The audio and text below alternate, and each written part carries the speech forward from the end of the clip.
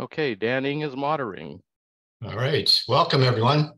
Uh, we're going to have you um, put a little bit of information into the chat. There's a lot of people on the call, so we thought that might be the most efficient way to do it. And I'm just going to put that in the chat now. So the thing is, we'd like you to kind of uh, tell us whether you've read the book, heard about it, or you can go the other way and tell us about your interest in in uh, systems uh, thinking.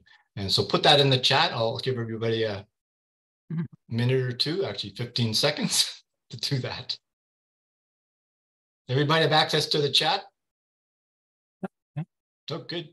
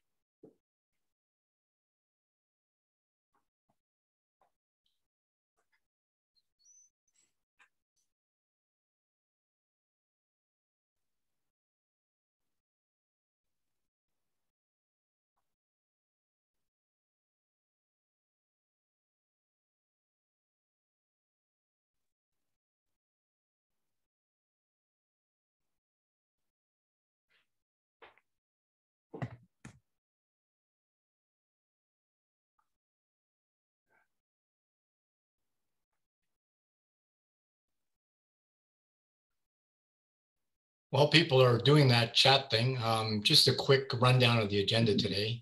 We're going to um, have David do a quick outline of the book. And then following that, we're going to walk through each of these sections. Uh, I guess there's five sections in total, including the introduction. And as David indicated earlier, we're going to, um, as you as you uh, get the information on each of the sections or parts, um, we'll pause for a minute, to give people a chance to ask questions or reflect or whatever else.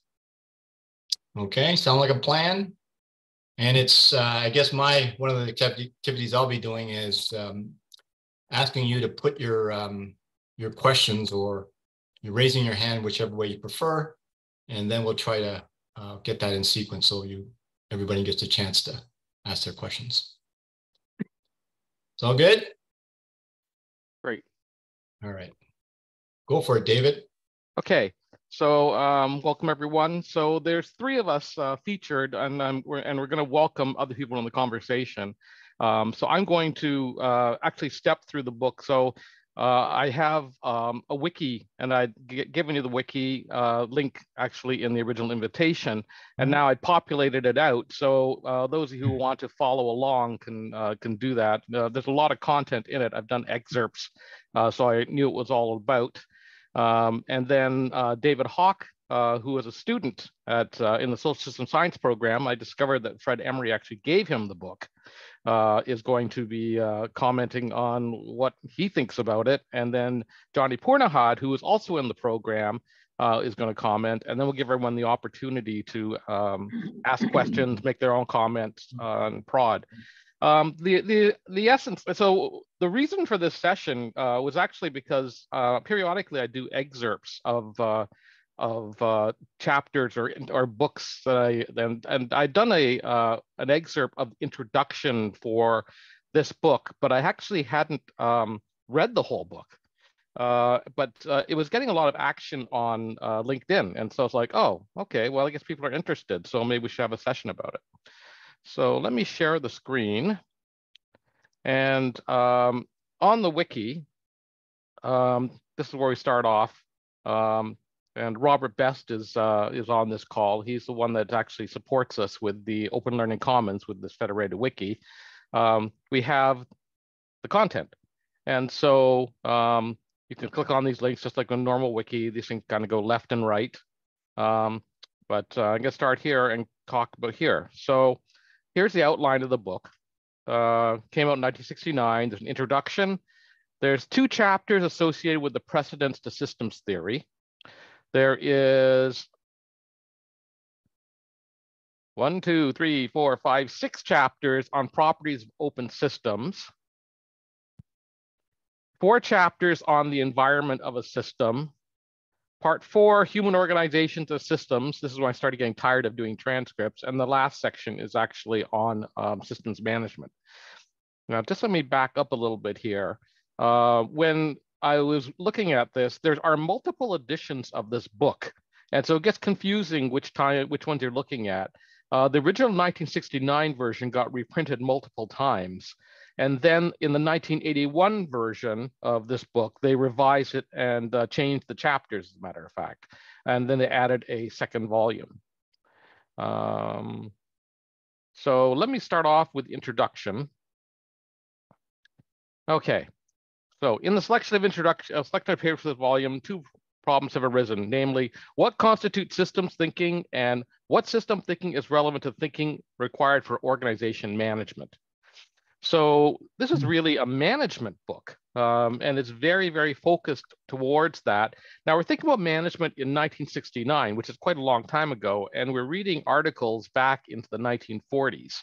And so uh, give that as your frame for where we are. And so the question about what we've forgotten is really here. The question as to what we might have learned since that time is, uh, is kind of open. But let's go through here. Uh, first problem's obviously critical. Um, and so saying, okay, well, okay, so the, he's trying to figure out just what system thinking is. Now he says there's two arguments for a systems approach to the analysis of living phenomenon. Now it's interesting that they're using this idea of living phenomenon as a system because when you talk about systems, um, my background is actually information systems. When uh, I started working, looking at system thinking in the first place, which is living or non-living, depending on how you want to define it. Um, there's this idea about theorizing about biological systems and how you would use them in social systems.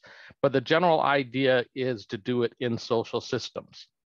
Okay, first, this argument of Gestalten properties. Uh, Gestalt uh, was something, and maybe I'll get uh, David or Johnny to help me with that a little bit later. Uh, Gestalt was um, an idea of wholeness that comes. Um, mm -hmm. It comes from German philosophy. Um, and then the argument that Gestalten, uh, the, the properties are common to different types of systems. Um, and so here's where you get into the general systems idea that there, it's not just uh, biological systems we're looking at, but you can take some of those learnings and use them in social systems. Okay. Um, now, what do we want to do this? Analysis of part systems in cause effect terms. And so we are talking about social systems. Uh, human beings have will. And so therefore, uh, we should have cause and effect. We can discuss that. Um, and analysis of the total system, like to reveal those properties uh, and have allowed us to, uh, the species to adapt and to survive in typical environment. So go on with this. Uh, second question, what systems thinking is relevant for organization management? We focused on this. And it says that it has to be analyzed as open systems. Now, this is saying open systems is actually an interesting uh, precursor for work that comes uh, even today, uh, because uh, the term that uh, Fred and his second wife, Marilyn, use is open systems theory. That's not all of systems theory, but that is their branch of it. Um, and so seeing it open system in 1969 kind of heads the direction. Let's see, human systems here. Great deal of work has been done. Okay, so central our central purpose has been open systems, not closed systems. Okay, now they uh, the interesting thing as I've gone through these readings is that they've given us these readings, but they actually are not necessarily in order of favor. What I'm actually finding, if you actually read through the readings, is that some of them are they're sequenced um, chronologically. So the Angyal paper is actually the first paper. Um, but what he says is the major impact came from von, von uh, and uh, that is that is general systems theory. Now, uh, it's interesting, interesting here that he writes about general systems theory and the idea about using uh, a theory that works across living and mechanical systems. But he says that um, it, within the systems engineering community, they haven't actually made that progress, and that's in 1969. So that kind of covers the first couple of sections of the book. In paper in section three, he says he'll deal with the properties of environment. So he's, he's go back to here. So we, we, did we did precedent system theory. We'll come back to that. The properties of open systems. Uh, the third part is the environment of the system, which we'll deal with here. Um, and he talks about Sommerhoff. Now, I just actually was working on uh, extracting Sommerhoff. It's really a long paper. Um, I was also interested to see that he mentions uh, J.J. Gibson, who is someone that I've been using um, with work on affordances, but it's not part of this, but it was research that was being done around uh, that time. And part four brings together papers have to do with social science. And so now talks about um, the primary task of management is to manage the boundary conditions of the enterprise, um, work on goals and purposes of an enterprise, Okay.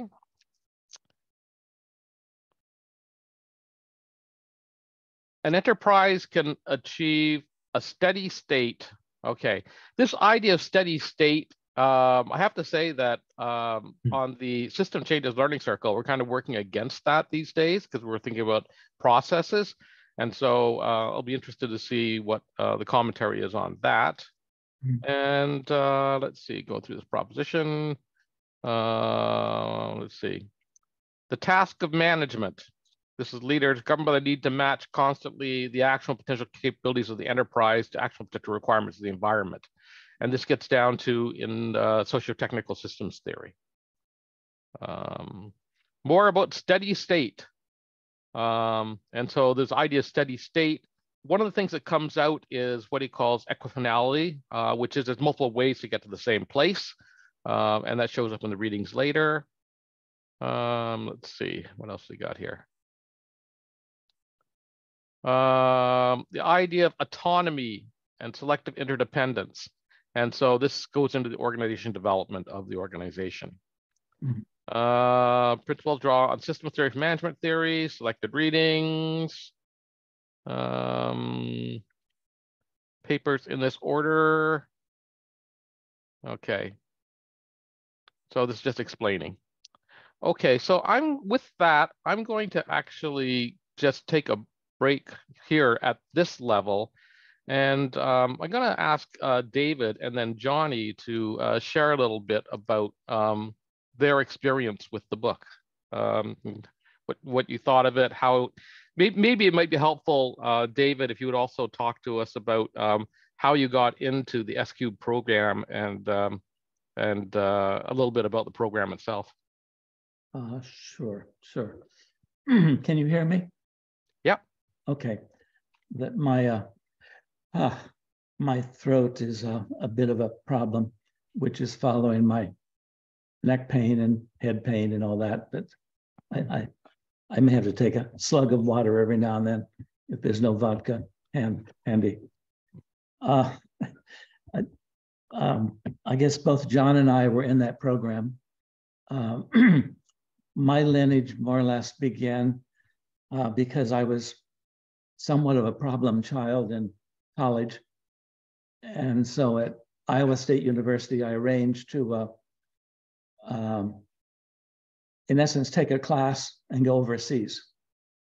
Because within the code of Iowa State, you were allowed to do that, although no one had ever done it and they would even pay for the professors you found.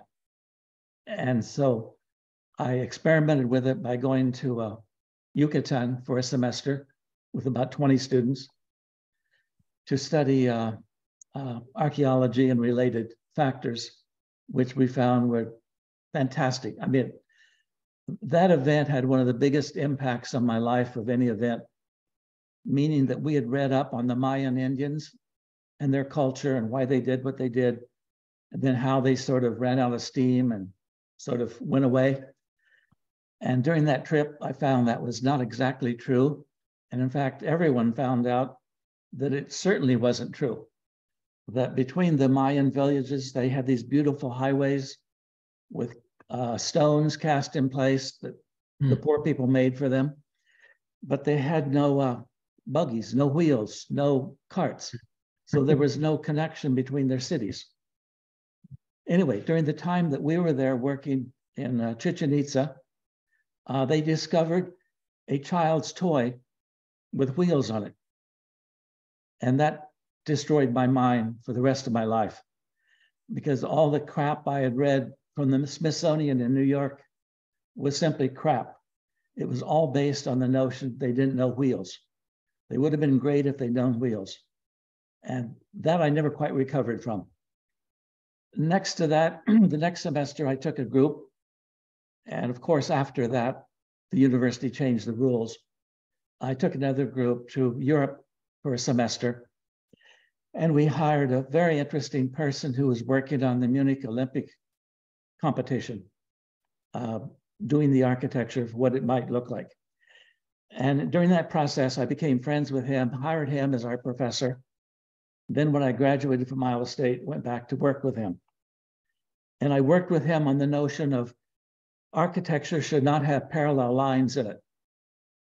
That parallel lines is a funny Euclid thing, a mistake of Euclid, and we somehow should get over it because in essence, people are boxed up. They're in essence in jail cells.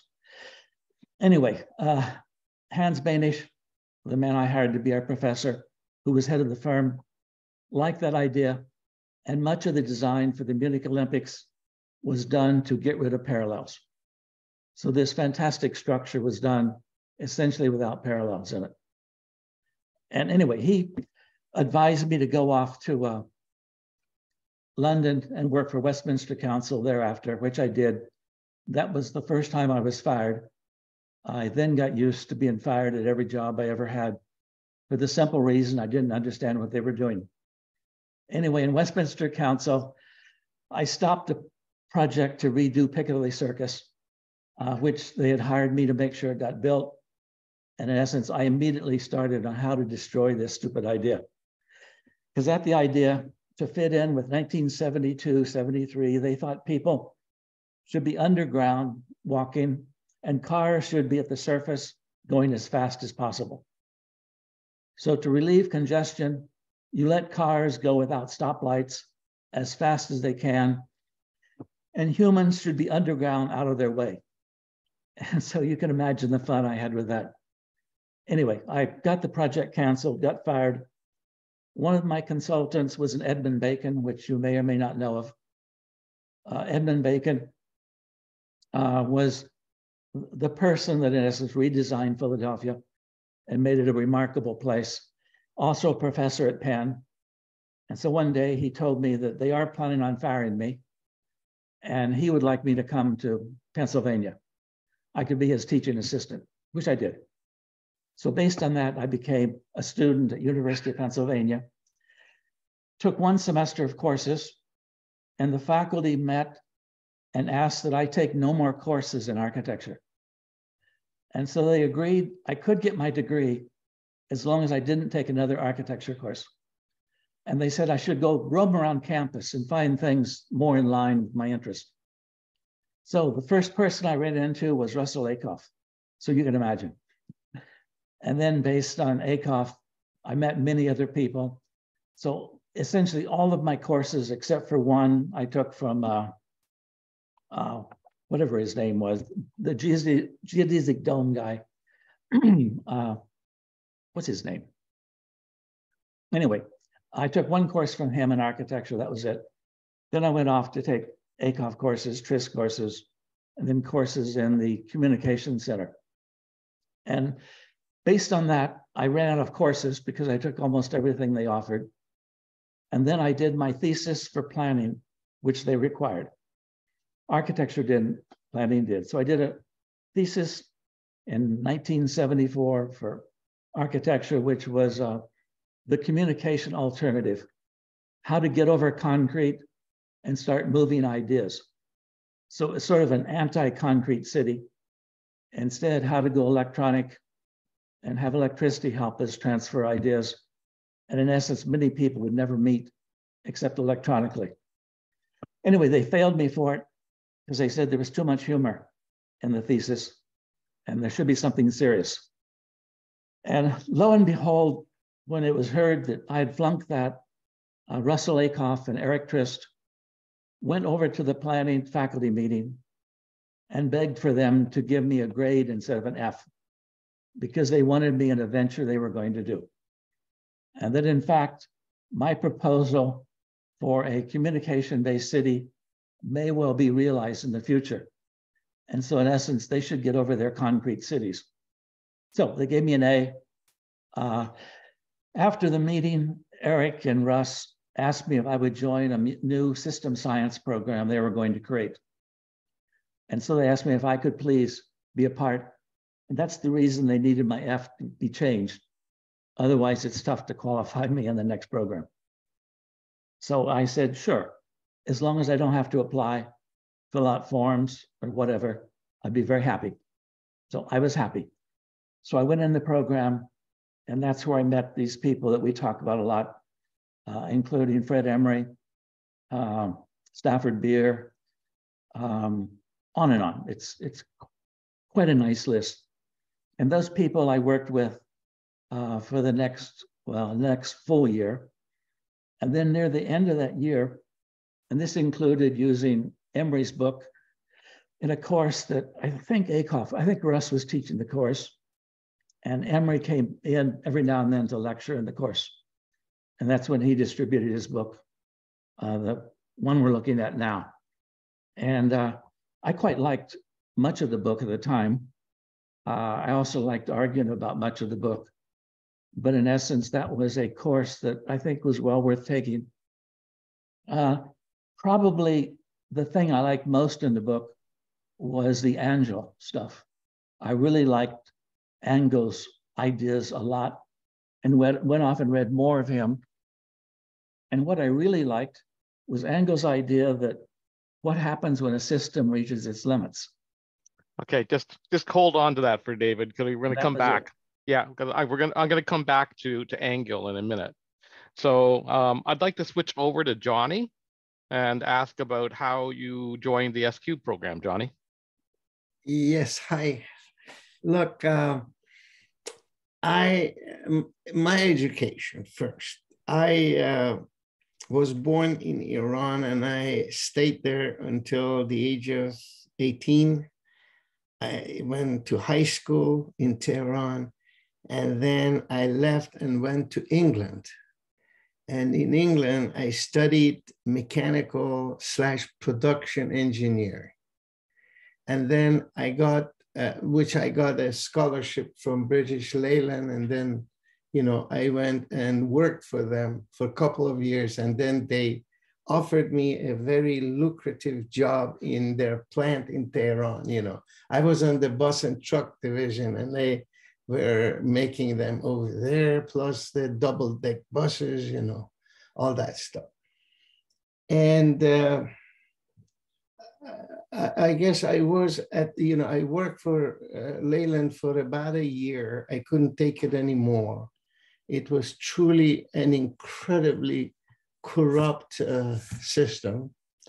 So I joined another, actually, you know, was recruited to by, by, another uh, manufacturing firm called Indust- uh, General Industrial Corporation. They were making 11 different lines of household appliances. Now, I worked there for a couple of years, and we had as our consultants Industrial Management Institute. I don't know whether, uh, David, you knew of this organization, but it was the most prestigious organization in that part of the world. It is still there. And the guy who was running the organization by the name of, and I'm going to say it in Persian, Jamshid Gharajedaghi, who has one of the best selling books right now in systems thinking. I think it's now fourth edition. He was a systems thinker. He was a graduate of Berkeley. He had done, you know, systems engineering or whatever. And basically, you know, unfortunately, I, I, I worked for them for almost five. He recruited me. I worked for them for five years, but most of my projects were industrial, you know, projects. And then one day, one of my friends came to me and said that, you know, like, what are you doing in a couple of weeks' time? I said that, you know, I'm going to be in such and such town because, you know, I'm working, say, for uh, National Iranian Copper Industries. He said, look, just stop, drop it. There's going to be a course. I want you to participate. And guess what? Lo and behold, the course was given by Russell Ackoff in Tehran. I knew a little bit about Ackoff because in our second year in engineering, we had to um, study OR, and the book was authored by Ackoff and Sasieni, which, by the way, the funny thing is this that most of the books that I have from Russ, they were all autographed by him, not this one. So, you know, like few years before his uh, passing away, I went to him and said, Russ, could you please sign this book for me? He looks at it, oh my God, where did you find this? I said, Russ, this was the book that we had to study for. So he wrote it to Johnny late, something like better than never you know, something to that effect. But anyways, uh, took that course.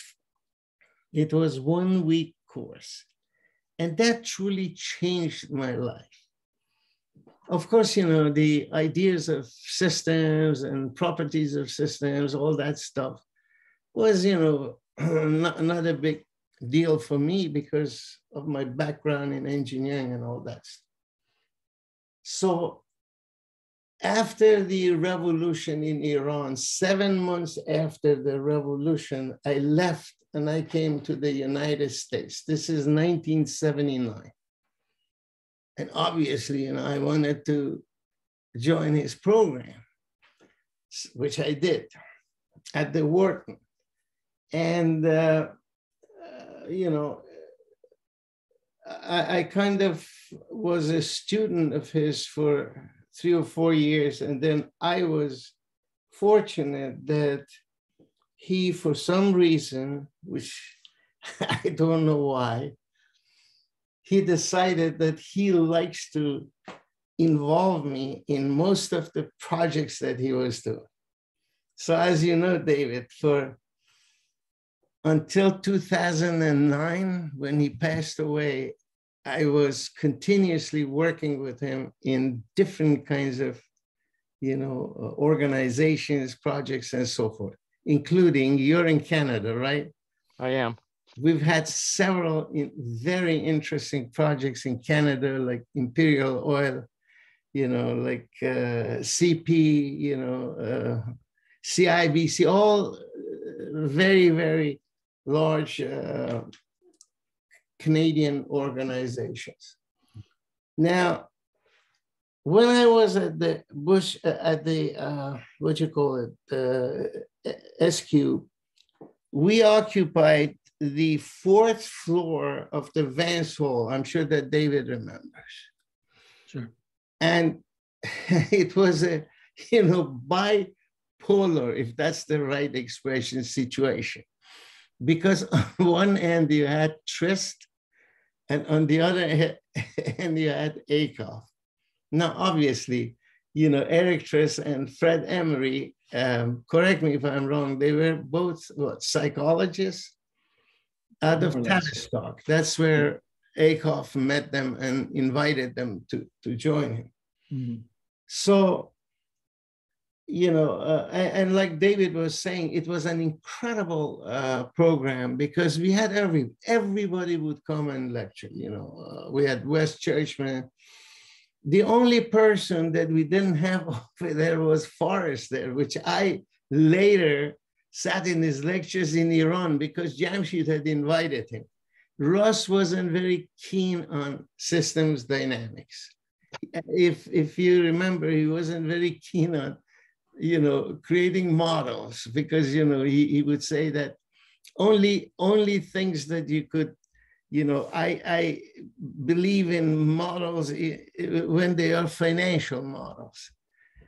Anything else, he would say that they're so complex that there's no way that you can model it.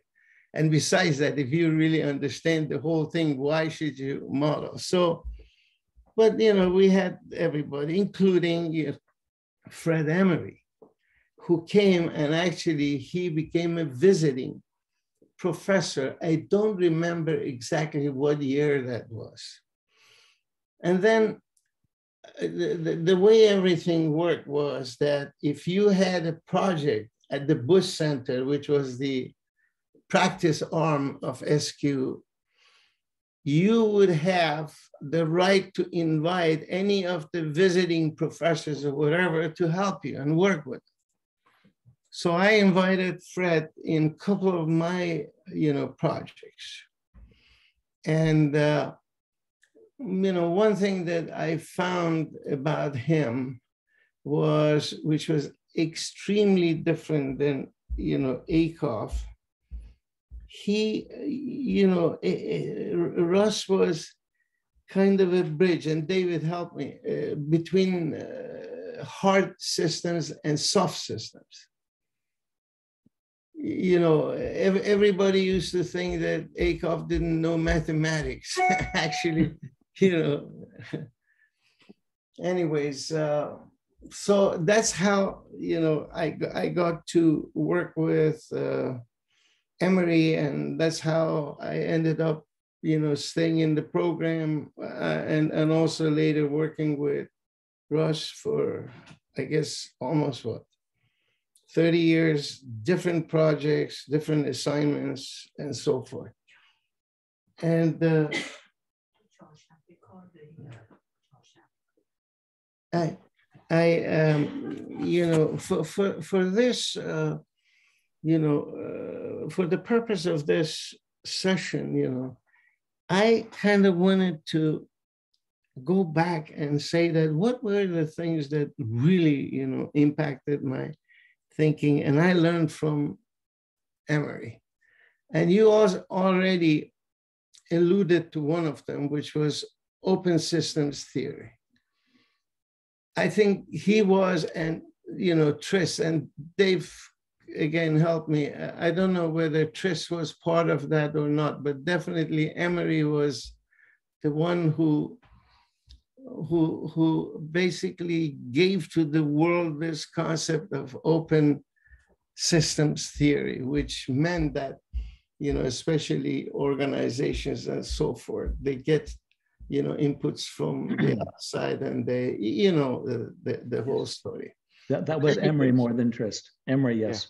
Anyway, yeah. And then the other thing that I wanted to bring to your attention, which you haven't said a word about it, the, the book, you know, on purposeful systems. I'm sure that a lot of you are familiar with, but on purposeful system is a collaboration between Ackoff and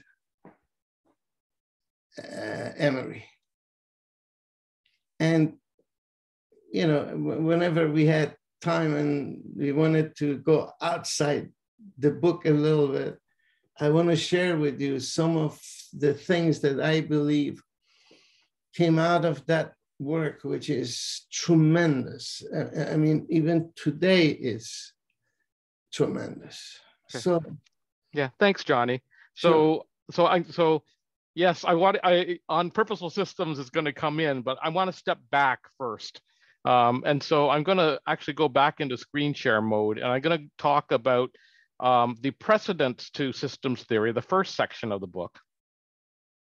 Um, and uh, and the reason for this is uh, is it's interesting um, what's in the book and what's missing in the book. So in the first section, and so this is a, a introduction to two chapters. And so it starts off with this discussion about Angyal um, and recommends Angyal highly. And then it has a second article, uh, which I actually am not finding that helpful, um, but it, it's a, it is a precursor. And he actually says that they like Sommerhoff. Sommerhoff actually references back to the, this Feibleman and Friend article.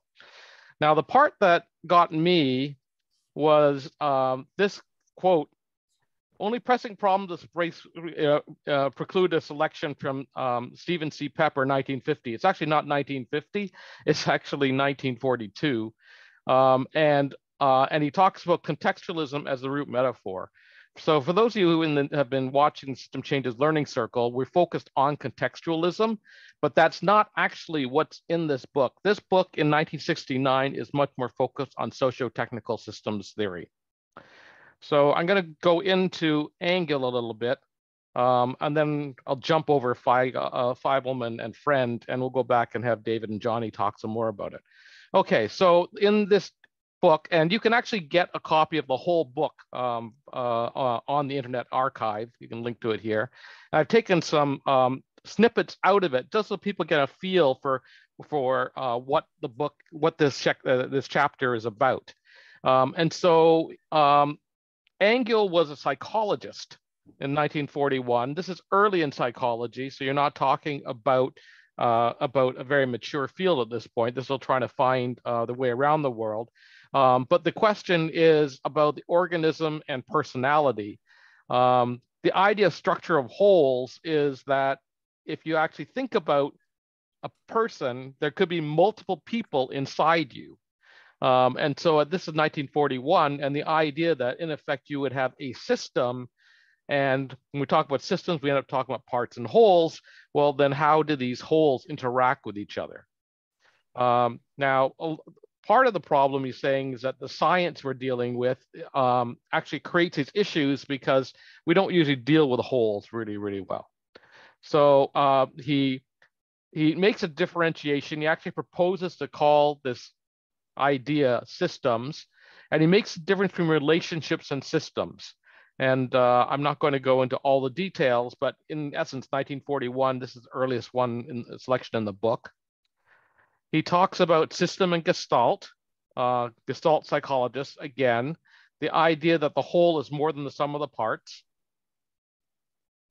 Uh, talks about what wholes are, uh, and that is significant. And so then this is actually the brief part. Um, so um, that that essentially it introduces the idea of parts and wholes, and then people who are interested would actually dive back in, and we'll have David talk a little bit more about Angyal in a minute. Um, so the structure and function organization. Um, this one I found less helpful. It actually goes through uh, a lot of ideas about just um, the way that you look at systems, um, the thing that they focus on is actually statics and dynamics.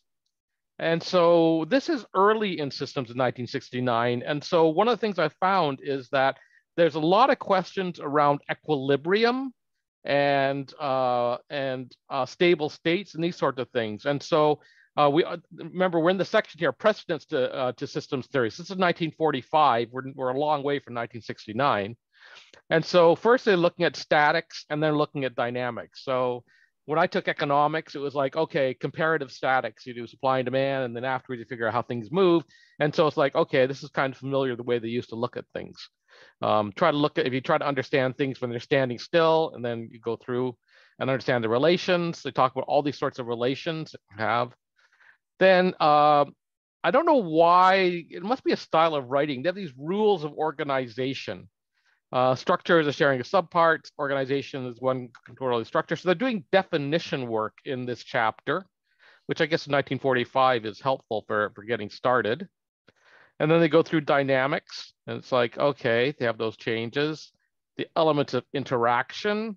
And you start seeing the ideas here, organization, environment, equilibrium, disequilibrium, all these sorts of things coming out. Um, they have some rules of interaction, uh, to talk about the kinds of interactions, a little snippet here about uh, the stimulus from the environment, whether the stimulus, uh, because again, you're, you're looking at a, at a time when um, psychology is new, and so the idea of stimulus and response and these sort of things are, are big in systems. Um, the direction of structure and function, uh, relation statics, and going through all that.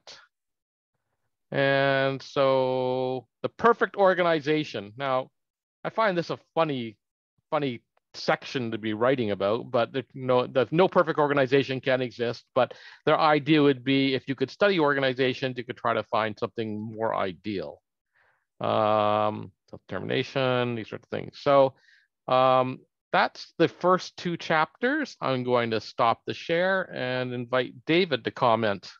David. Uh, yes. uh, I, I, agree with your comments about Angyal's paper and most of it. Uh, there were other papers he wrote related to this, as well as someplace hidden in this paper, was his question, which uh, I enjoyed the most of all of his writing. And he raised the question of what happens to a system when it reaches its limits. And that was a question that really bedeviled me a lot.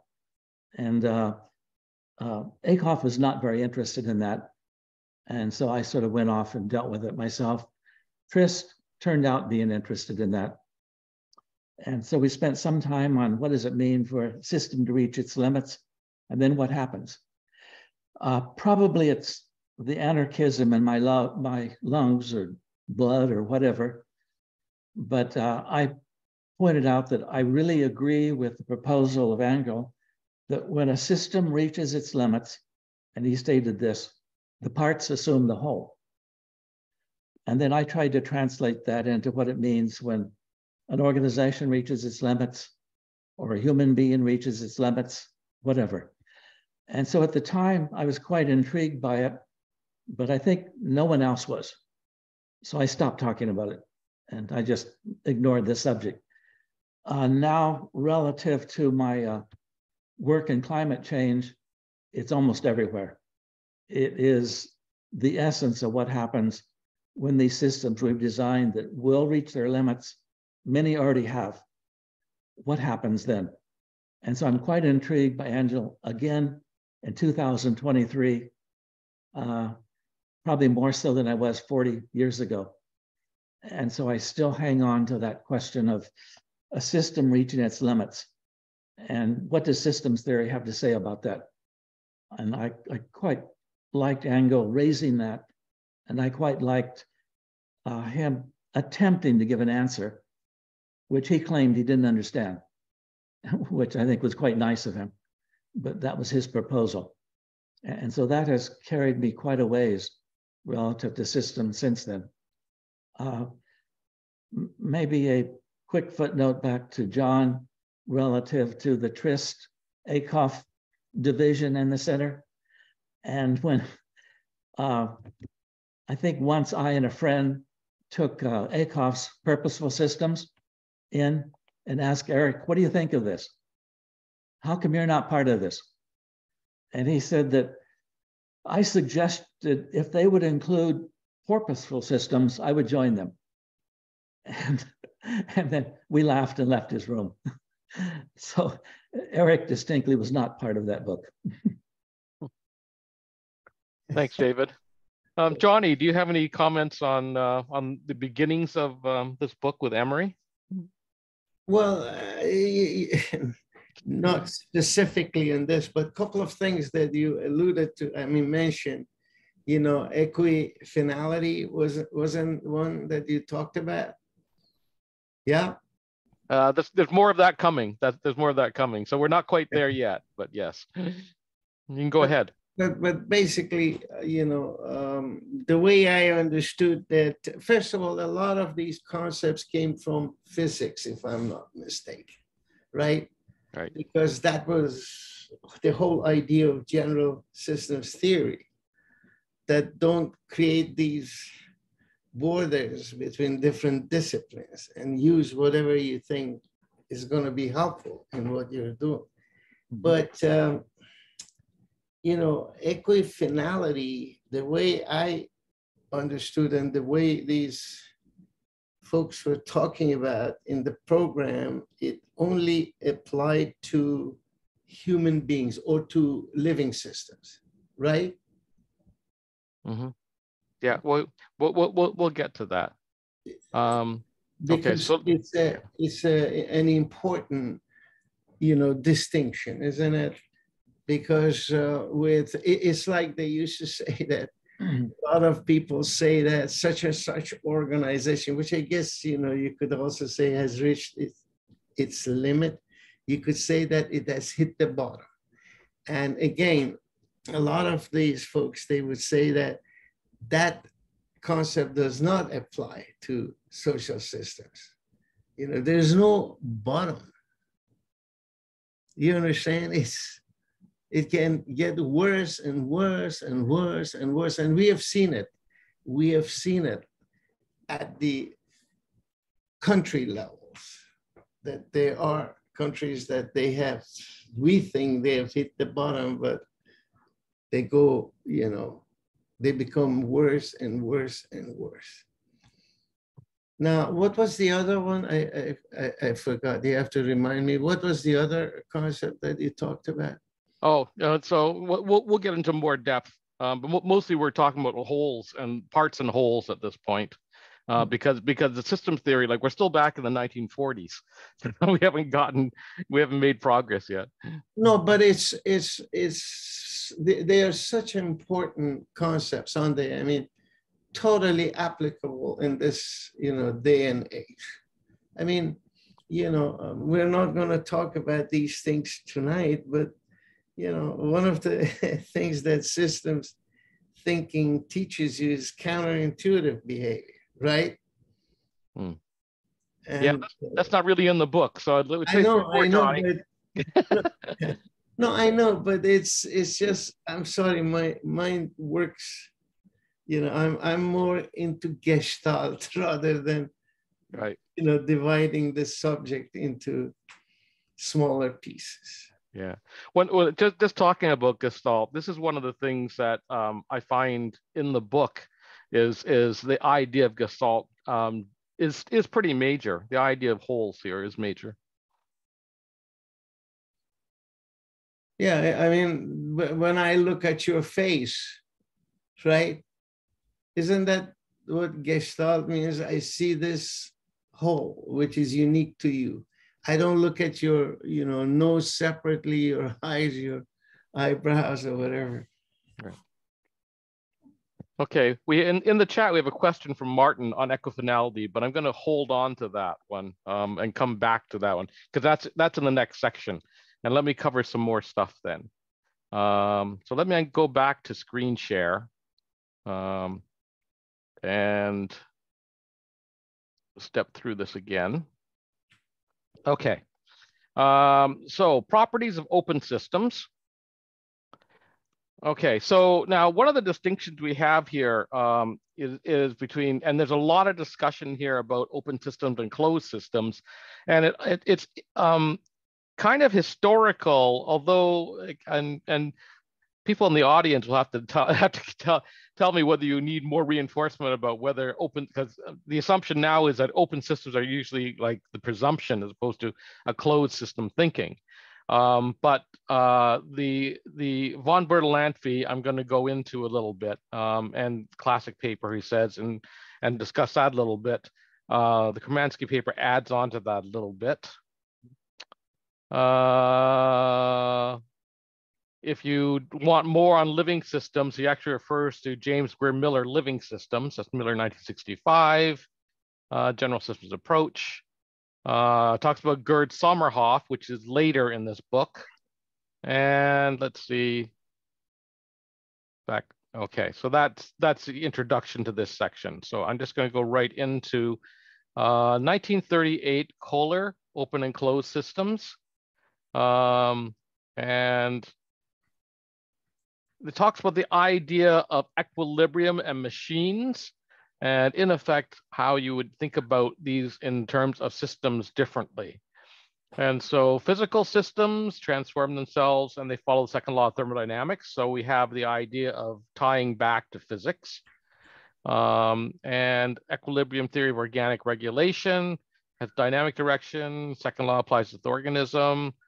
Uh, balance vectors. So there's multiple things happening here. Um, okay, what is an organism? Uh, velocities in the tissue, so talking about movement. There's a reference now, uh, and this now we're leading up to what Johnny talked about, um, Cannon and, and equilibrium. Um, and the idea that as opposed to using the term equilibrium, you talk about homeostasis. Uh, their steady states are preserved or reestablished in the organism. Uh, and it's not, it, it does not imply something set or immobile. So you might have uh, a physical, um, a physical entity, uh, water, sorts of things. Like you see water moving, it reaches its level. You might call that equilibrium. But if you're talking about a living system, you should probably be using the word homeostasis instead. Um, can we use stuff from equilibrium? Um, now we start going expanding it. A flame is not a closed system. It can, however, be considered part of a larger system. You look at the behavior. General systems of a organism is not a closed system. It's part of a larger system. Difference between a flame and an organism. The organism itself normally contains great reserves of food in the widest sense the world is stored, for instance, in the liver. Um, so this is now more medical and less psychological when describing systems, and it gets into the organicism of the of the system. Um, let's see. Okay, so that's the first one. That's 1938. So we're going to 1950. This is actually a summary. So uh, Ludwig von Bertalanffy, the father of uh, general systems theory, um, and he. This is a more technical paper. Um, so a system is closed if no material enters or leaves it. It's open as import and export. Living systems are open systems. Um, now he starts looking into chemistry. Um, and uh, that we moved up from physics into chemistry. Uh, he doesn't use the word biochemistry explicitly. He does use the word chemistry though. And so he's looking for the generalizations of things that you could do across physics and physical chemistry. Um, and then uh, of dynamic equilibrium. And he says he's been working on this since 1932. 1950 is actually quite late for, for uh, von Bertalanffy. This is one of the later publications. So um, thermodynamics, still have the second law of thermodynamics applying in biology. Uh, open systems, characteristics of open systems, second law of thermodynamics, uh, on time, chemical equilibria are irreversible. So you have reversible versus irreversible. Um, energy for synthesis, uh, synthesis versus analysis, synthesis is putting things together, analysis taking things apart. And this is when we get into equifinality. Okay, equifinality. In most physical systems, the final state is determined by the initial conditions. And so this is a physical view of the world, but he's saying that vital phenomenon show a different behavior. And so um, this would be social systems, but it, it also the possibility of biological systems. Um, getting sticky on the definitions here. Uh, closed systems cannot behave equifinally. Thermodynamics of open systems. Okay. Uh, and we're going to get into entropy and all that sort of stuff, which is a whole nother ball of wax that I don't want to do. Prigogine, um, thermodynamics, irreversible processes, entropy must increase, biological applications. Okay, so now he's trying to use thermodynamics and figure out thermodynamics works with uh, biology. And he refers to Rashevsky's cell modeling. Uh, Rashevsky was a precursor for Robert Rosen. Uh, in August, we're actually supposed to have Judith Rosen come visit us in person uh, in System Thinking Ontario. So we'll see if that happens. Uh, quantitative theory of growth goes on for a while. Okay, so that's von Bertalanffy, open and closed systems. Um, Katz and Kahn is actually social. This was a, a, a textbook that came out you know, pretty well. Social Psychology of Organizations. It's an early book on open systems. Um, and let's see. So this is how they deal with organizations. How do we know they're dealing with an organization? What are its boundaries? What behavior belongs to the organization? What behavior lies within it, outside it? Who the individuals or actions are studied and what segment are the behavior to be included? So now we are actually full in, in 1966 into using uh, open systems theory with human organizations. Um, now, teleology, the study of ends and goal behavior, I'm finding very heavy in this book. Um, that's not an area I like. I understand it, um, that organizations need goals and purposes. Um, but uh, this one is really oriented heavily that way. Um, and Newtonian physics. Okay, common characteristics of open systems, imports energy, has throughput, has output, cycles of events, Negative entropy, which I think David Hawk is going to probably throw something at us about that. Yes, yes, yes. Uh, information input, negative floating process, uh, dynamic homeostasis, differentiation. Okay, equifinality. So there's we're getting some of the same terms here, and they go on about that. Um, so uh, standard textbook, but uh, given that uh, Katz and Kahn was probably um, I it, it, I did my MBA in '82, and um, uh, between 80 and 82. And this book was old then, but it was known at that point. So I would expect the 1970s um, that this sort of thinking would have been prevalent. Um, Ashby, Self-Regulation and Requisite Variety.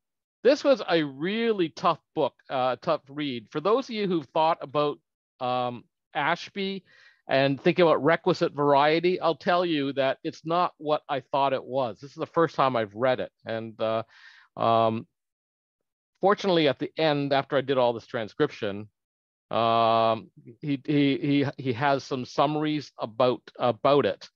Um, but the thing that surprised me about uh, about the approach to this, and, and it, you really have to read this article. Uh, the excerpts don't really help you. Is that uh, when you're actually looking at it? Here's a section: play and outcome. So the way that Ashby comes and looks at um, regulation and requisite variety is through game theory. And so he talks about two players, and in effect, the idea of requisite variety is that uh, if you're trying to beat your opponent, you need to have more variety than your opponent. And it's like, okay, I understand that now. I don't know how you do that if you're dealing with nature, because I think nature always has more um, more states than we can manage. But um, that's that's my bias. Um, mm. But I found I found this reading uh, quite difficult. I'll leave it for people who are really quite interested in that. Um, this Kreminsky article, uh, let's see, what, what's this about? Uh, okay, he's going, this is 1958, so he's trying to study organizations, oh, material systems. Um, this was a strange chapter because if we look at the title, um, he starts from cybernetics and then adds material back in. Uh, cybernetics is actually a science about information. And so then he looks at biology trying to put that back in. It's kind of like, that seems a little backwards to me, but uh, if you come from a cybernetics approach, then um, you have to deal with the material in it. Um, so that's what I got out of this one. And then uh, Sommerhoff is the one, now this is really long. This goes from 147 up to page 200. So it's like 60 pages, 50 pages. And uh, I was uh, taking a lot of pain on this. Uh, I remember reading this um, a long time ago, not this section, but the idea about goal directed behavior. Um, and the way I finally got through this, uh, he uses an example in the end about um, playing football. Uh, and the net was that, uh, in essence, when you're actually doing the analysis in, in goal directed behavior, either you can go and chase the ball and kick it, or sometimes you wait for the ball to come to you, uh, which is a really strange conclusion and explanation of this. Um, black box football player, concept of adaptation, uh, learning, uh, adaptation and learning, uh, I'll get I'll ask Johnny to speak about a lot because I remember in um, interactive planning there was always a learning and adaptive systems, and so I, I my sense is, might, might come from this learn discriminate self-regulation. Anyway, so I'm going to stop and uh, go to David Hawk, and um, okay, I know you're going to talk about entropy or anything else. What do you got to say, David? uh, let me go backwards. Uh, okay uh, relative to requisite variety mm. and uh, his take on that. Uh, a very interesting person I like reading disagreed with him. Uh, that's a person called Anatol Rapoport. Mm. and Rapoport certainly knows more about game theory than Ashby ever did. And uh, probably the most classic article you could ever read about um, uh, the take that um, that uh, Rapoport offers is to go back to a 2008 Scientific American issue. And that issue, the headline of it, and a special section at the beginning, as well as the editor's notes, had to do with uh, Rapoport's approach to game theory. And in essence, it essentially erases what Ashby said mm. but it makes it a very different animal. And uh, I think I've talked about it on here before, so I won't go into it. But in essence, uh, Scientific American ran Prisoner's Dilemma. Prisoner's Dilemma to see what approach, what shall we say, strategy wins. And that's how they announced it. and Rapoport demonstrated that the no strategy approach will win. The strategy approach will always lose. It was a fantastic piece of work. And that's why Scientific American uh, loved that piece of work and made such a big deal of it in that issue. And I met uh, with Anatol a couple of times when I was working on something, and I really liked his take on many such things. And so he would uh, he would certainly argue with Ashby on much but that's a footnote. Entropy, ah, that's five or six hours of introduction. So, uh, I mean, uh, that, that was one of the problems I had with the systems people when I was in the systems program. Because in essence, they had filed away entropy someplace as uh, it's manageable. And they had come to accept negative entropy as something that is. And in fact, they assigned that as a characteristic to life. So as long as there's life, there's negative entropy. And then I would, I think I asked Eric, maybe Russ, that means you're immortal, right? You're not going to die. No, no, no, no. You confused me. But anyway, we had many discussions, but since that time, uh, I have found in the climate change issue, entropy is uh, extremely helpful to understand what's going on and why it's going on. And then recently, I had a major set of arguments with a set of economists on the basis of inflation has nothing to do with interest rates and why they're being silly creatures. All they're doing is making the rich richer, which maybe is their point. Uh, but in essence, it has nothing to do with inflation.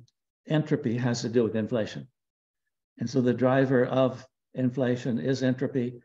And that's why there's less food, food prices go up, et cetera. And the entire understanding of climate change will be based on entropy.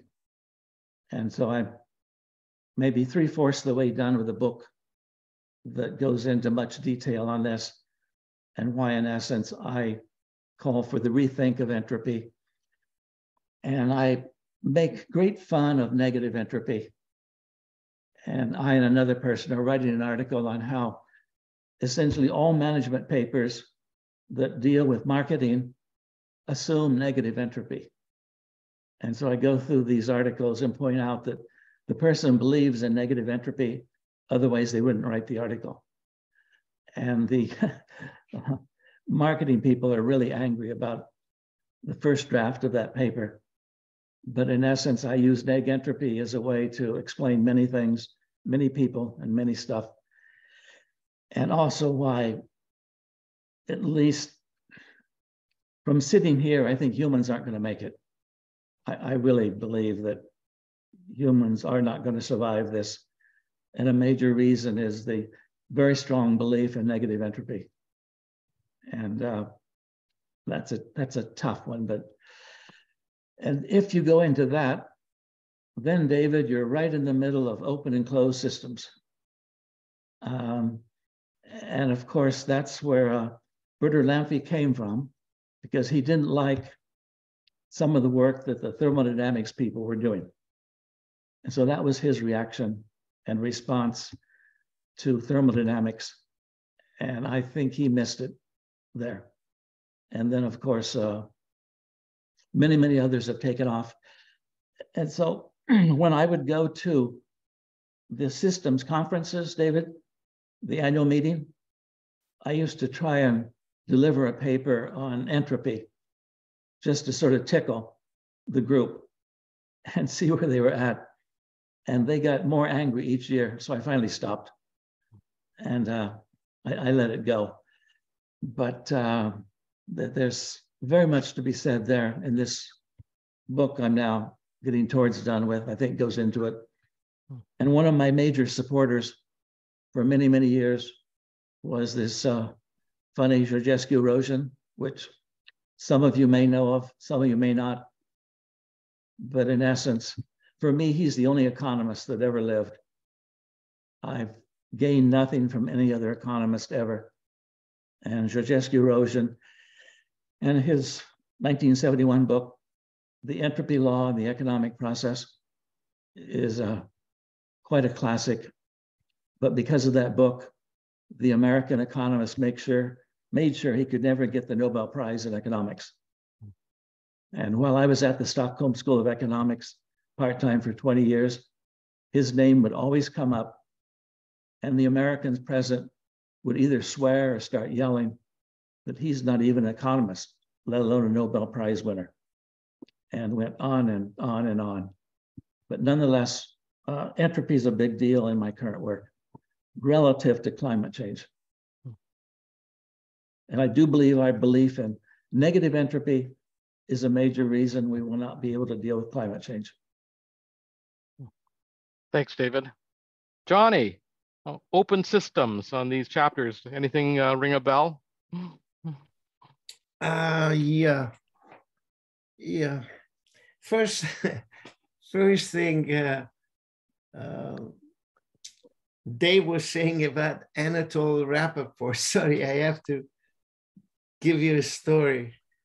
Uh, because when I was going uh, to places with Ackoff, he always would be meeting with some of his, you know, friends and old uh, colleagues and all that. So one day we are in Toronto, and he says that let's go and have dinner with Anatol. He lived in Toronto. So I said, great, you know, I love to meet him. And besides that, I also, I'm half Russian. I speak Russian, so I can talk to him.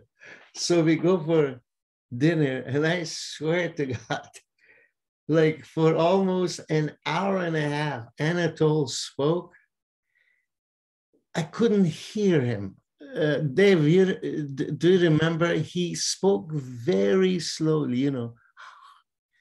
And then I turned to, when, when the dinner was finished, I said to Russ, I said, Russ, please forgive me, but, you know, can you tell me what Anatol was talking And he said, no, I didn't hear him at all. so, so anyways, um, you know, I like to talk about these characters because they were, you know, uh, fantastic people.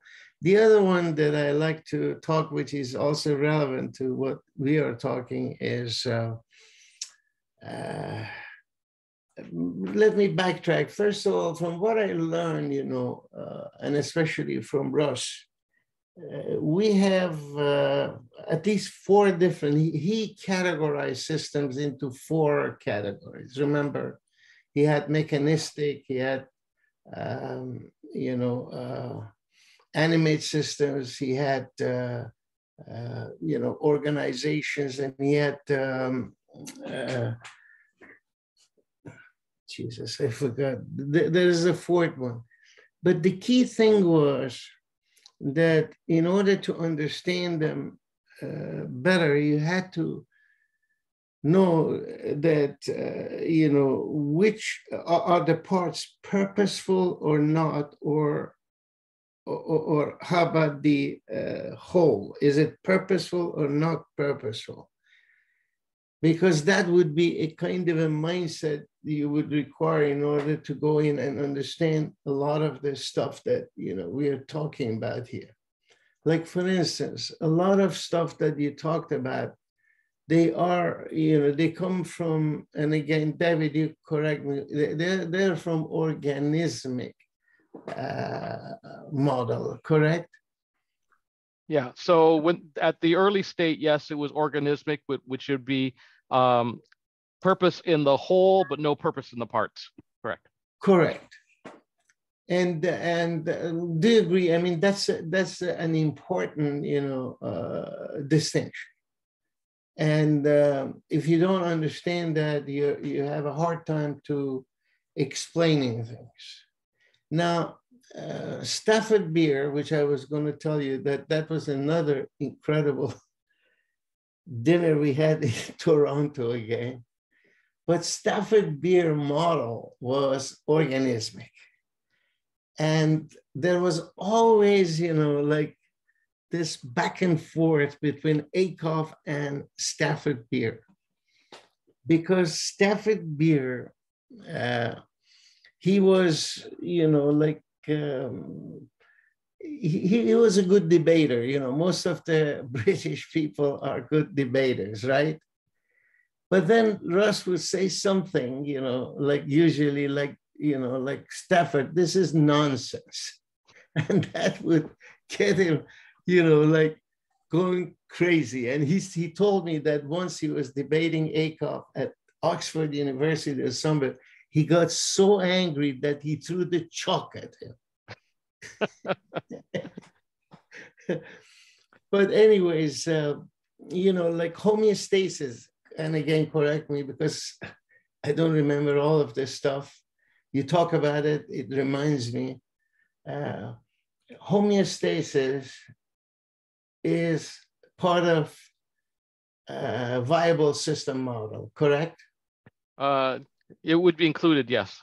Yeah, which which basically, you know, he argues that's the uh, function that controls, right? the yes. Performance of the, and then you've got the morphogenesis, which is your planning, and the other thing, which is trying to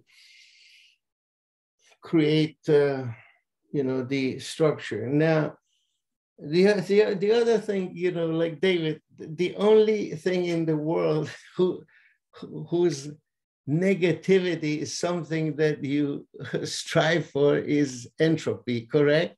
Mm-hmm. Yes, yes. I mean, that's the only thing that you like is the negative entropy. But while we have you, I mean, we can learn from each other. Could you, you know, like in layman's term, tell me what entropy is?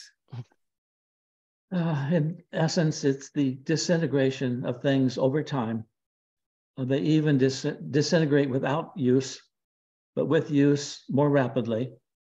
So when humans are going to make something, they go into the landscape, nature, context, and pick up the components to make this, which in essence tends to degrade the context in order to make this. But then certainly it requires energy for it to make sense and be useful. And so the use of the energy, in essence, degrades the energy. And so some people believe that you can recycle the energy or you can recycle the machine with the impression that it costs nothing. That if you're smart enough, you can simply recycle it, which of course you can't. That the second law of thermodynamics does not allow recycling. It just doesn't allow that, it doesn't allow reuse of energy that was used. So in essence, it's a one-way trip.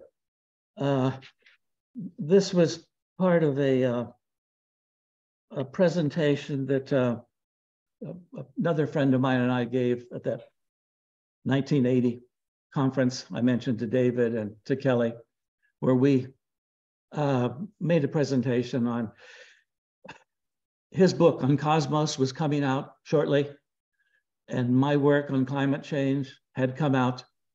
And so we gave a joint presentation. And in essence someone asked just what you ask. And then uh, he jived in and said because he was quite a fan of what i was talking about and he rose to the occasion and said what would be really interesting is, you know, we all know the cosmos is in an entropic process, that entropy is probably the most important law of the universe, that it's the one that's there no matter what else we do. And Einstein said that also, that it's the one that will not be revisited. It simply is. And so Sagan went on and talked about the importance of that that determines what happens in the cosmos. and in essence, negative entropy is a joke, but people enjoy jokes, so why not? Let them have it. But then he went on to say, what you might want to think about is at the end of this entropic process, think for a moment, things stop and reverse. And the entire universe is neg entropy. And if you thought you were in trouble with entropy, just wait till you try to manage neg entropy on the way back. And, and of course, the audience loved that, and I did too. And so he uh, got many people thinking but about. David, uh, quickly, uh, how do you apply it to organizational design? What uh, should I do in order to, I suppose, a, a, social organization? Yeah, to in terms of using up the people, if nothing else. Say again in terms of using up the people, in terms of this great problem of leadership and what leadership does, and in some ways, even worse, middle management.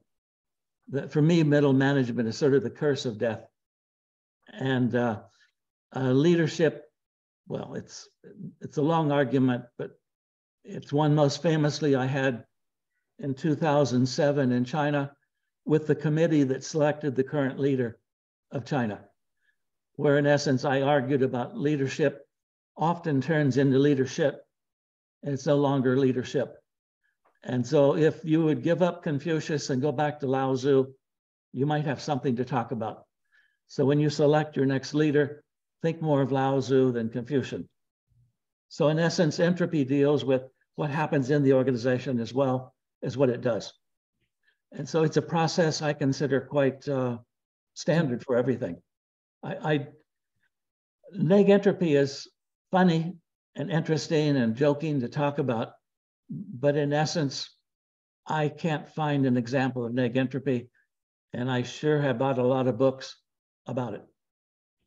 The most famous is this man in uh, Israel that's written about 10 books on entropy and neg entropy. And I use it for humor let's let's move on from the entropy question because, because David, uh, there's actually a whole video on this uh, in the archive. If people want to catch up on that one. Um, I want to give Martin the opportunity to uh, to check in because he had a question about equifinality. If you want to uh, come back in, Martin. Sure, sure. Thanks, David. So um, it was just because uh, John mentioned it, so it triggered me, and um, and it so, happens it's something that I'm using in a paper or trying to use in a paper I'm writing at the moment. Um, and um, uh, yeah, so so if we go back to to Fred Emery for a second, um, Fred Emery. Uh, one of the other things that uh, that he was responsible for was a, a method of causal path analysis, uh, which I'm trying to investigate. And so there is a um, there, there is a mechanism that he's invented to, to trace a path from predecessors to, to an outcome. And, um, and if we consider equifinality as the possibility that many paths exist to get to a certain outcome, um, it, it, it's always felt to me like that sort of invalidates the whole principle of a path model. Um, and I'm wondering if uh, either of uh, or, or, anyone here on the on the call can help you know, educate me as to how one might use equifinality to determine uh, in a path model how to um, you know how, how to uh, get to an outcome from certain constructs and predictors.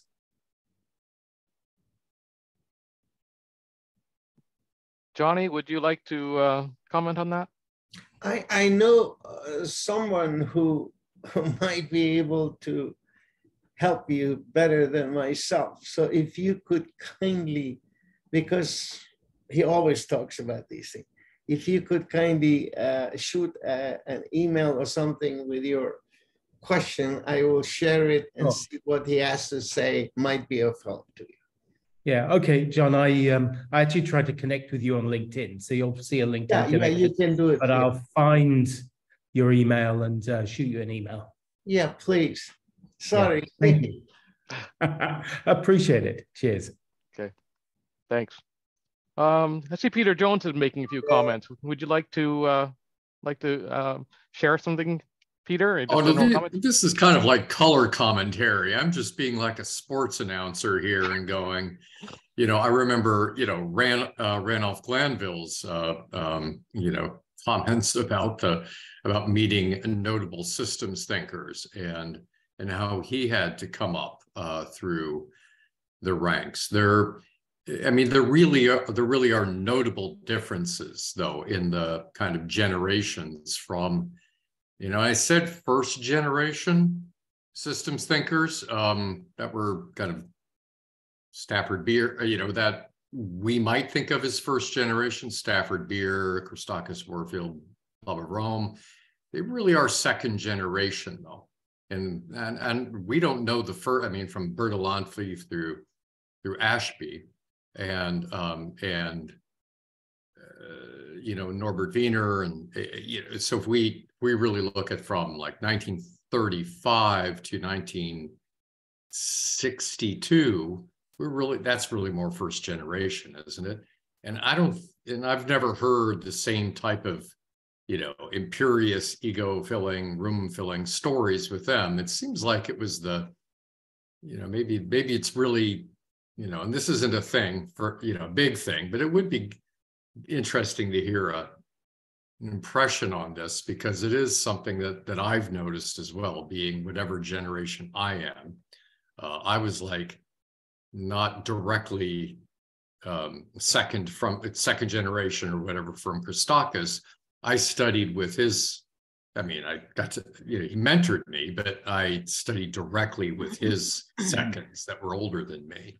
So there is this kind of, you know, staging of what you're expected to do and follow when you take on a mentor and you learn this these areas. And um, you know, he's gent he's pretty gentle now, but you know, he would fill a room. so maybe David and Johnny can tell us more about the visitors um, that that came in through the uh, the program. David? Yeah, uh, David, you go ahead.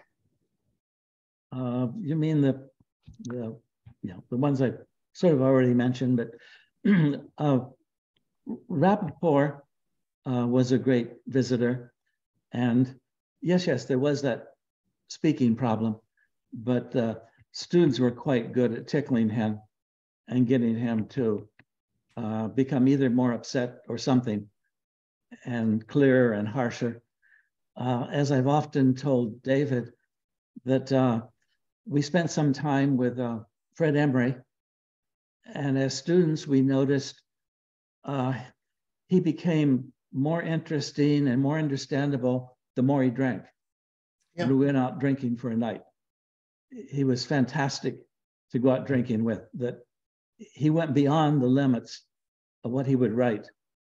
And we really appreciated him doing that. So that was uh, quite good. And Trist, I think, was this, the opposite of Emery, that uh, very much a gentleman, very kind, very nice.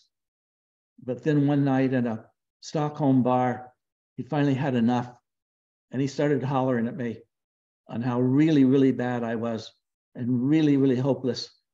And he never did that again. He never did that before. But with three or four beers, he became much more transparent. Whereas Emery uh, became much more interesting with three beers. And so uh, Stafford Beer, I don't know. He was just sort of a big man that he liked you to think of him as a big man and sort of pissed off Ackoff a lot. And, uh, and Russ sort of couldn't take it. Uh, Churchman, I liked a lot. And it was very easy to see why he was the mentor of Ackoff.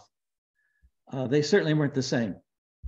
But uh, yeah, as I've mentioned to other people, it's worth getting hold of a copy of Ackoff's dissertation, Methods of Inquiry, which he wrote with Churchman. And after that, uh, Penn hmm. passed a law that no longer can a supervisor write a dissertation with a student.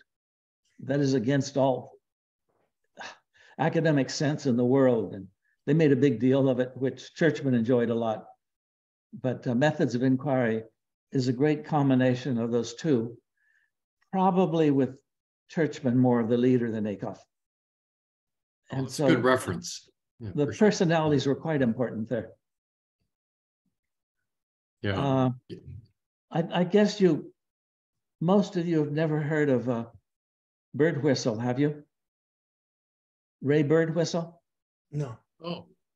Okay. Yeah. He and Erving Goffman, you've heard of Goffman, right? Okay. Those two, since they were just across the street in another building, would come visit on occasion and were quite interesting. And now, what I find particularly interesting about Birdwhistell is he had a model of human communication without words. And finally, people sort of laid him to rest, not knowing what that meant. Well, funny enough, Apple is now starting a brand new, very secretive R&D project for a new uh, artificial intelligence system based on Birdwhistell's ideas. And I only know wow. it because my daughter is one of the six people they hired to work on it. But I'm very excited about what they're going to try and do to overcome Microsoft and to try and get closer to people dealing with the truth or at least accepting the truth, which in most AI humans just exaggerate the lies. And so Birdwhistell and uh, Goffman were both quite nice additions, uh, very anti-Wharton School of Business, which was nice too and Ackoff tend to appreciate that. Uh, Trist also. And then there are various other people. I don't remember their names, but they were great. Uh, yeah, I, I, I think, uh, well, that's enough for those. Question for Johnny, though, if I could ask. Uh, yeah, um, the ones that I really... no, I, I, mean about your influence in design, design thinking, because you know you you had a, a great early article with your students in ISSS uh, that was influential in our development of systemic design in the design community. You know, it was around the same time that we were we were writing. No, the the paper that um, I think by now has been downloaded more than 100,000 times is the one that we argue for integration of systems thinking with design thinking. And uh, for some reason, you know, people like it. And I get uh, invitations, you know, to talk about it and things like that. But uh, let me go back uh, for a moment. You know, you were asking that some of the visitors to the program. The ones that I really, really liked very much, one was um, uh, Sean from MIT. I forgot his first name. I'm getting to a place where I start forgetting names. But he was terrific, you know. Uh, Chris Argyris, right? Everybody is familiar with Chris Argyris. Mhm. So he would be uh, another. Um, Ross had a good relationship with Peter Senge. I saw somebody, uh, you know, just mentioned, you know, his name. Um, uh, Sh- Schein was another one. Ed, was it Ed Schein? Ed Schein, yeah. Yeah. Um, yeah. So, That- so, that- so, Mhm. so Johnny, since you, since you brought up Ed Schein and uh, also um, uh, Chris Sure. Argyris, Yeah. um, can, you, can you talk about uh, about Russ's uh, views on learning and adaptation? I think the only, uh, you know, um, it's interesting that you're asking because that's my favorite uh, topic. I think Russ's contribution there is just enormous.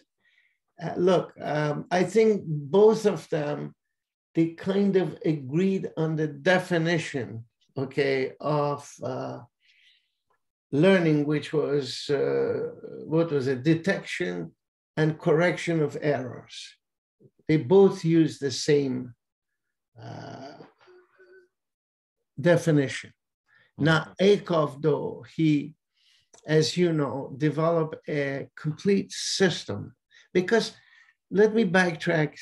Ackoff, from what I understood, his whole preoccupation in life was try to tackle these uh, intractable, what he called intractable messes, intractable problems, especially intractable problems. And his whole argument was that, um, you know, when you engage in planning, and if you're not able to predict and prepare for the future, you better to create that future for yourself, design, correct? That was his, you know, whole argument. But then people would say that, but Russ, let's say that if we design something today, we know for a fact that things are going to change within a very short period of time in our environment. What do we do? He would say that you, um, you know, design it now, but endow that design with the learning and adaptation capability. And he, you know, offered the model. I'm sure that you are familiar, which starts with, uh, you know, tracking the decisions that have been made, and then, uh, you know, um, see if the results, you know, expected versus uh, actual, if there is a deviation, you know, you, I've written, by the way, several times, and I also presented a um, full-blown paper on that uh, in Australia, believe it or not, in Deakin University. It's called the uh, corporate black boxes. And so he, you know, he, his approach was he he agreed on the definition, but his approach was different. His approach was more socio-technical, so you know, sociocultural. Argyris was more psychological, which was, you know, Peter Senge, I'm afraid, took a lot of stuff from Argyris and presented in his work on learning organizations. So, you know, we don't have time right now, but I love to get a chance to present because this is unbelievable system. And I have been part of uh, implementation in many, many organizations, but we always started well, but our effort was stopped by the lawyers. Even, you know, I'm, I'm afraid to say that the same thing happened in with Anheuser-Busch, that if you recall, I mean, Russ had free hand with Anheuser-Busch. He actually asked Jack Purnell, I went over there, started working, and everything was going well, and then boom, they stopped it. Why? I don't know. Because, and, and also with pharmaceuticals, because, because the system calls for, it's like aviation you know, you have a lot of things that get captured and goes into um, the memory of the system, but the memory that you cannot change it. That's the whole thing about it. And I personally think for some reasons, the lawyers don't like that because you're going to have a record of uh, the decisions that have been made. That's that, that's really interesting, Johnny, because the, uh, the, the there are in in the early in the section on open systems there is discussions about mem not memory, but in effect that sort of idea in a in a, a social system that is not uh, there in a in, a physical system. Um, so yeah. yeah. But you know, like, like the argument there is is that you can't have learning without you know memory. I mean, the whole essence of the thing is this: that you got to, like I said, detect the errors, okay, and correct. And many people have written about this, and there are books, you know, I'm sure that David might remember one of the uh, professors at the Wharton just recently wrote a book about it. You know that you know everybody says that the first step in a learning organizations is to create a learning culture, right? And learning culture means that you do not penalize people if they have made a mistake, but only you allow them to make the mistake once. You you know if they make it twice the same mistake, then you, you know, fire them because they haven't learned anything. So it's, uh, and, and the other thing is this, that when you're working in organizations which are extremely, you know, like complex and huge, uh, you know, you and, and major decisions are made in different places of the organization, you need to have this system to, you know, basically capture those decisions. And you know that he actually created, well, we improved it. He calls it decision record, which starts with, you know, what were your assumptions, what information you use, what you expected, you know, all of those things are easy to track, right? Yeah.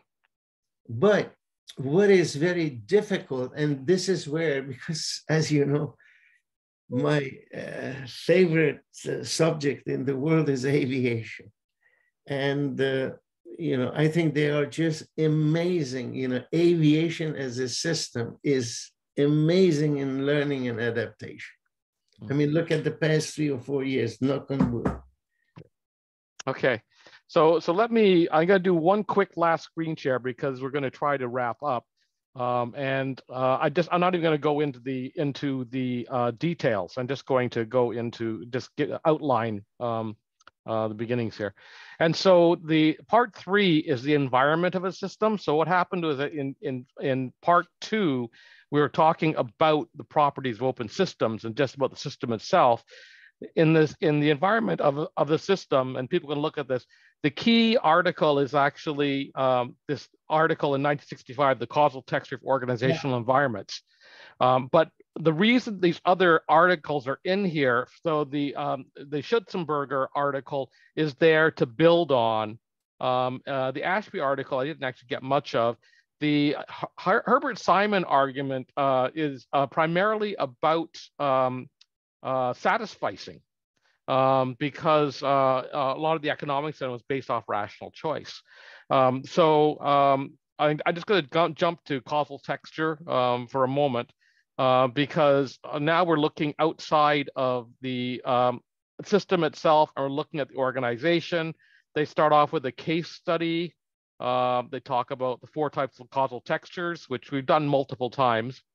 Um, and, uh, and then um, values, matrix organization.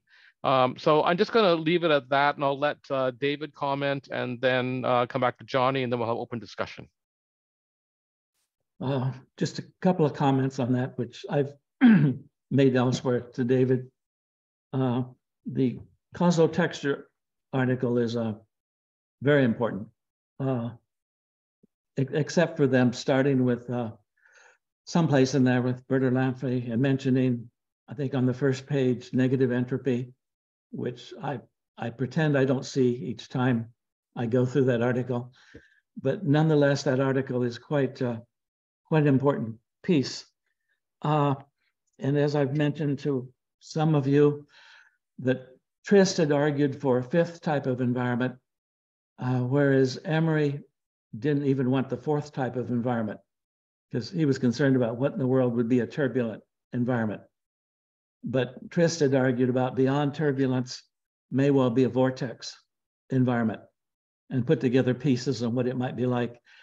And I find that particularly interesting these days because certainly we are in a turbulent environment. There's very little question about that, unless uh, if you're a woke person, you'll notice it's a turbulent environment.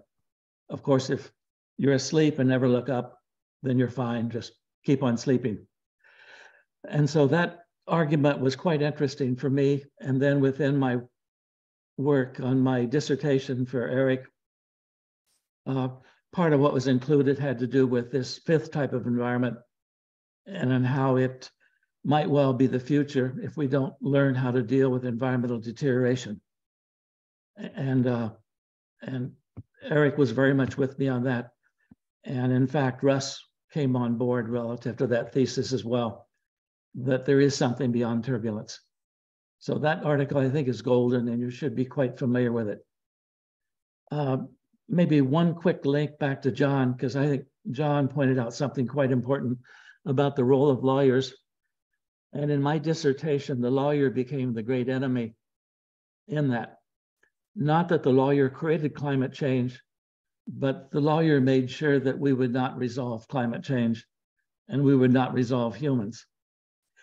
And so we did a test of that uh, one of the firms that I was a senior advisor for for a long time, in this case, 15 years, uh, a foreign company that wanted to buy an American company in their industry. And so I took over due diligence and found a company they should buy, which was a $5 billion company. Uh, they were far beyond 5 billion, so don't worry about that. But I put down the conditions for them buying this company in New York that they should have no lawyer involved in the process. That in essence, the two sides should work out a negotiation on how to arrive at a merger or acquisition. And I explained in detail why the two are very different and why in America there's no such thing as a merger. It's always an acquisition. They just pretend it's a merger. And that they should work with the other part and somehow absorb this $5 billion company but no lawyer could be present until the final meeting, and they were allowed to read the agreement. And if they had a problem with the agreement, they could either leave or explain their problem more clearly. and I use this by talking a lot about the dissertation I put together, where the major problem of lawyers are 100 word sentences. And those sentences are a real giveaway on how incoherent the lawyer's mind is and why the process will be incoherent as well. Anyway, that merger was ranked by the Wall Street Journal as one of the greatest mergers in recent history in the US. And now the company that took over the $5 billion company uh, has grown from a uh, $200 billion a year company to a $300 billion a year company. And that acquisition is a major reason they were very successful. And so when they discuss that, they discuss things like the company being acquired, uh, their employees most wanted their CEO to be fired in public if possible. And so they emphasized the personalities and the personality problems. So if you could eliminate lawyers from a process, you're a step ahead. So you're quite right, John. I really appreciate that piece. And it's terribly systemic. It, it's, it's a big one. Johnny, do you have more to, talk about with uh, uh, the environment and um, uh, causal textures section?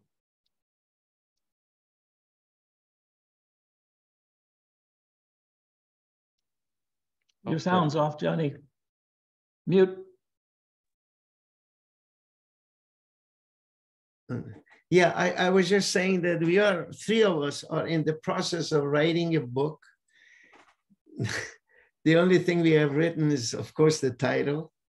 And it's going to be uh, called uh, Navigating uh, Complexity and then Lessons Learned from Aviation. Now, we try to see where is it that we can connect the two concepts together, integrate. And believe it or not, and you know that, David, because you saw that I use your, you know, the paper that you had uh, posted mm. from them, the, uh, you know, uh, Trist and Emery, mm. and and uh, its environment. And believe it or not, we uh, looked at Dave Snowden's framework, right? Which he starts with obvious, you know, uh, complicated, complex, and chaotic and disorder. If you think about it, it resembles the environment in which the pilot operates. Pilot goes through all these things. Now, the beauty of it is this that, like, like for instance, turbulence is equivalent to Snowden's complex environment because when you are in, especially when you are in clear air turbulence, you don't know what the hell hmm. is going on, which way is going to hit you, right? And then I interviewed seven pilots, and all of them, I asked them, "What do you do when you find yourself in such environment?" And guess what? All seven said the same thing: "We go for a ride." And that goes to what David was talking about you know, when you are in a situation like that, go for a ride. You know, you cannot control. First of all, you cannot manage complexity, right? Anybody disagrees with that? How can you manage? It's the same as pilot. How can a pilot manage a, you know, turbulence out there in the environment? So that that paper has been extremely uh, helpful to us. Okay. And uh, David, okay. David, I'm, I'm, just just on time, we're going to try to wind up, and we actually have people leaving. So I wanted to invite Roger to speak because he's been uh, in the background, and Ali Dad if he doesn't have to take off too soon. So um, Roger. Um, okay, I hope you can hear me. Yes, we can. And uh, welcome, Martin. Uh, Martin and I worked years and years ago in the UK. So um, I just wanted to speak as I could find because um, my sort of, I have a really good opinion of Russ Ackoff now, but at the time that my career was forming, he was almost the, the Antichrist. and I and I tried to give you um, a path and a timeline that got me interested in this. And uh, I, I think that's that's that's a valuable ob, ob, observation, particularly where we've got to now, because we're now talking about people like Dave Snowden. And again, Dave Dave Snowden is somebody I've worked with like 20 years ago. Um, so so there's a different story there, and I think it's important to recognise that that that different story. What I would say to go back to the original thesis, which was that book, the, the, the two very interesting things about that book that I found was the way that it changed from um, the first edition to the second edition, the, uh, the articles that were introduced and the articles that were dropped.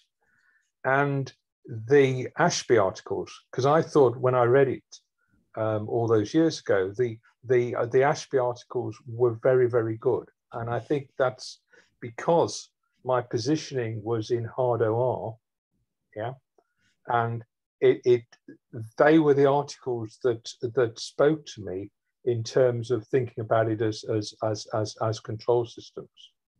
And the interesting thing is the elements of the soft OR um, came came across largely through the work of Peter Checkland, um, because I, I think he was far more di, di, di, digestible to real problems than than than a lot of Rus, Russ Ackoff's work. Now I know every, every, everybody here are a Russ Ackoff's fan, and I'm a Russ Ackoff fan, but I don't want to rewrite history, and, and I'm trying to to explain how it was for me entering this industry in this space in the early 80s. So that's that's that's all I wanted to say. And there's you know the the the the kind of stories are very interesting, and and I always feel in these things like like the Where's Wally of uh, of, of, of of each of these epochs of history. But uh, that's it for, for another day. Thank you. Quick, Thanks, quick Roger. question. Quick question. You said that you work with Dave Snowden.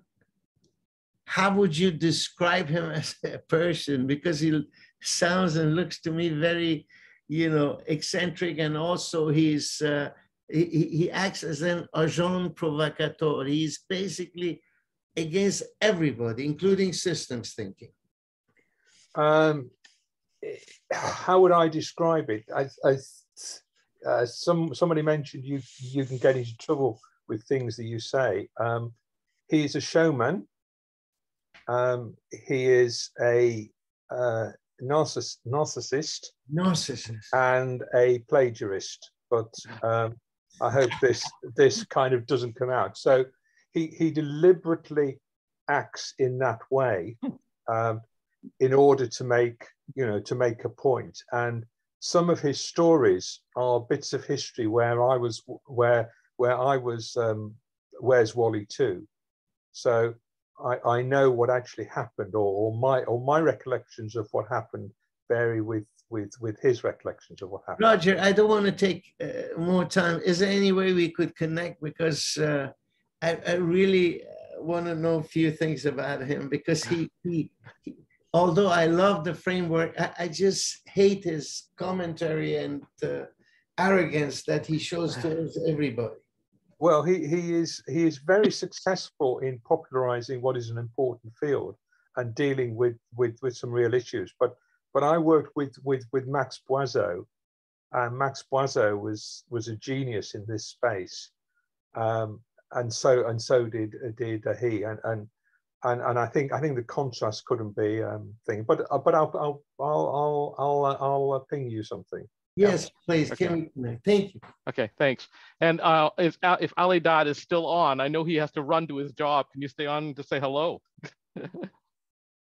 Hi everyone, what a privilege to be here. Um, I'm also from Iranian descent, John, so um, it was wonderful to see the Tehran connection here. So I had no idea that uh, Russ Ackoff and um, Forrester went, in- went to Tehran. So Oh, yes. um, that's amazing. And uh, so I live in Australia, and uh, with with Martin and a few other folks, we've um, we are um, looking at open system theory. Um, we did a course few months ago with Marilyn Emery. She's still alive and very much active in, in Canberra, Australia.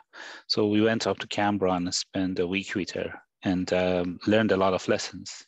And I think drinking runs in the family. So as soon as you drink few uh, glass of wine, the conversation becomes a lot more interesting.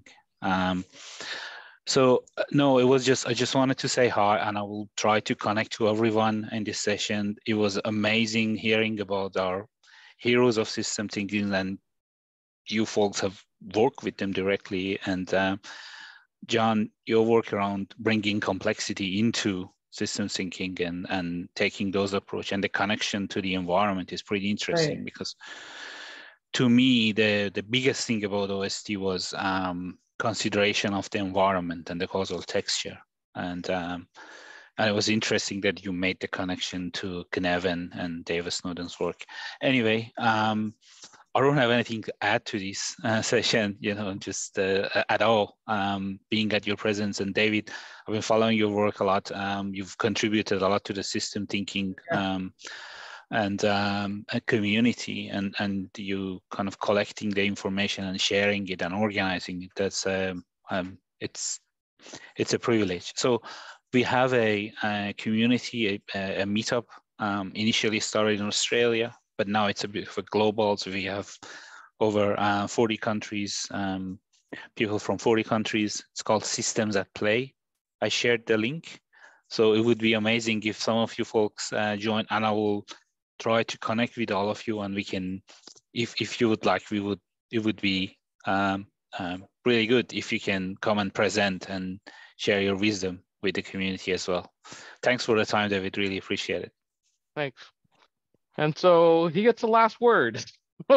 I'm sorry, we, we had, it's a happy, it's a good time. We have to wind up. Um, and, uh, but um, uh, I'm going to announce the next month's session. Uh, we've actually got planned, I just need to put it up. Uh, Gary Metcalf is actually at the ISSS meeting in uh, South Africa uh, and presenting. And so we're going to get the presentation that it's jointly between him and me on philosophizing and sciencing um, in systems. So um, everyone watch out for those announcements and we'll see you next month. Bye. Thank you, everybody, and goodbye. Thanks, Thanks John. for joining us, Johnny.